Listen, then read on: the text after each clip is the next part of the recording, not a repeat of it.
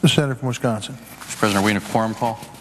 Okay. Mr. President, I ask unanimous consent that Beckett Jackson, uh, Ross Schulman, and Alex Tosanovich, uh, interns in my Judiciary Committee office, be granted floor privileges for the remainder of the Senate's consideration of the FISA Amendments Act. Without objection. Thank you, Mr. President. And, Mr. President, I ask that the time uh, that I consume be allocated to the Dodd Amendment. Without objection. Thank you, Mr. President. Uh, I strongly support Senator Dodd's amendment to strike the immunity provision from this bill, and I want to especially thank the senator from Connecticut for his leadership on this issue. Both earlier this year when the Senate first considered FISA legislation, and again this time around, he has demonstrated tremendous resolve in this issue, and I've been proud to work with him.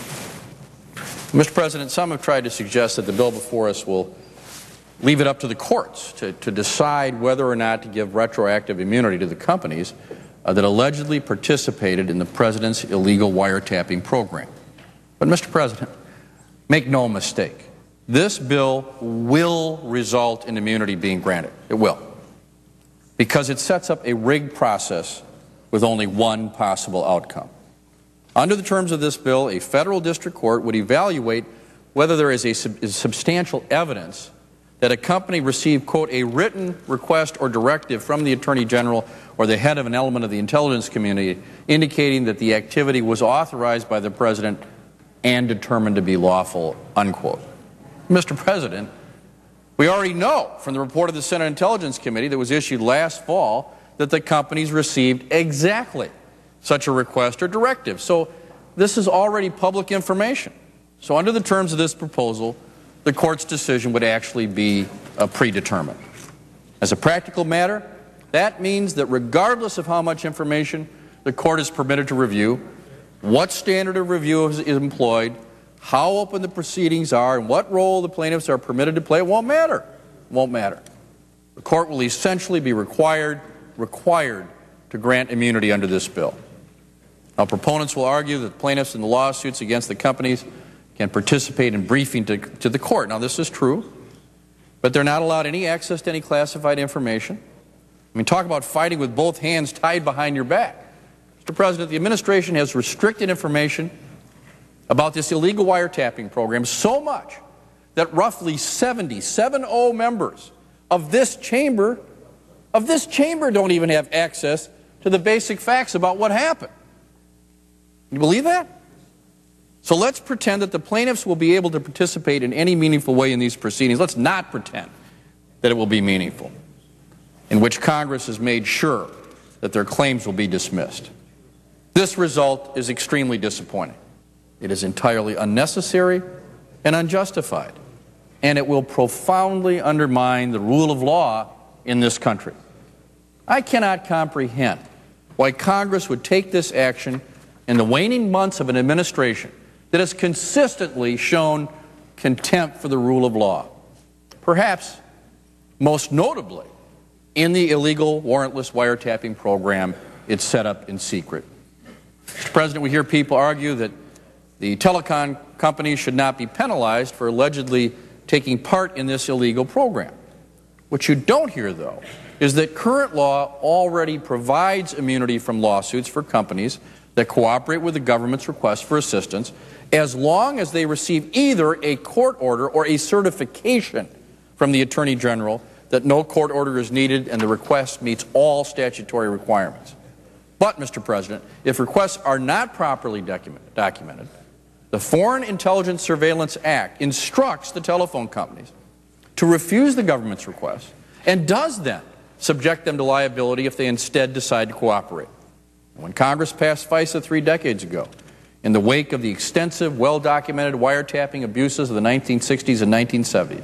It decided that in the future, telephone companies should not simply assume that any government request for assistance to conduct electronic surveillance was appropriate. It was clear that some checks, some checks needed to be in place to prevent future abuses of this incredibly intrusive power. And that's the power to listen in on people's personal conversations. At the same time, however, Congress did not want to saddle telephone companies with the responsibility of determining whether the government's request for assistance was legitimate or not. They saw this problem. So Congress devised a good system. They devised a system that would take the guesswork out of it completely. Under that system, which is still in place today, the company's legal obligations and liability depend entirely on whether the government has presented the company with a court order or, again, a certification stating that certain basic requirements have been met. If the proper documentation is submitted, the company must cooperate with the request, and it is, in fact, immune from liability. If the proper documentation, however, has not been submitted, the company must refuse the government's request or be subject to possible liability in the courts. This framework, which has been in place for 30 years, protects companies that comply with legitimate government requests while also protecting the privacy of Americans' communications uh, from illegitimate snooping. Granting companies that allegedly cooperated with an illegal program uh, this new form of retroactivity that is in this bill undermines the law that has been on the books for decades, a law that was designed to prevent exactly the type of abuses that allegedly occurred here. Even worse, granting retroactive immunity under these circumstances will undermine any new laws that we pass regarding government surveillance. If we want companies, Mr. President, to follow the law in the future, doesn't it, doesn't it send a terrible message? And doesn't it set a terrible precedent to give them a get out of jail free card for allegedly ignoring the law in the past? Mr. President, just last week, a key court decision on FISA undercut one of the most popular arguments in support of immunity, and that is that we need to let the companies off the hook because the state secret privilege prevents them from defending themselves in court. Now, a federal court has now held that the state secrets privilege does not apply to claims brought under FISA. Rather, more specific evidentiary rules in FISA govern in situations like that. Now, shouldn't we let, at least let these cases proceed to see how they play out rather than trying to solve a problem that may not even exist?